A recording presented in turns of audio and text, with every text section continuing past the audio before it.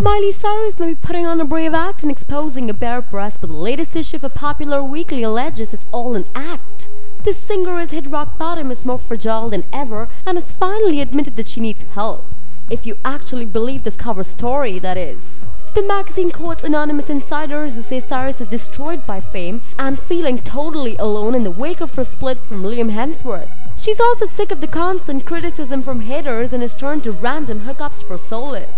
Oh yes, the magazine actually has published a photo of Miley with her legs spread and screams that she's out of control, having been with four men in four weeks. So do you think it's true? Is Miley really alone? Drop in your comments to let us know. Thumbs up for Miley Cyrus and don't forget to subscribe to Hollywood Backstage.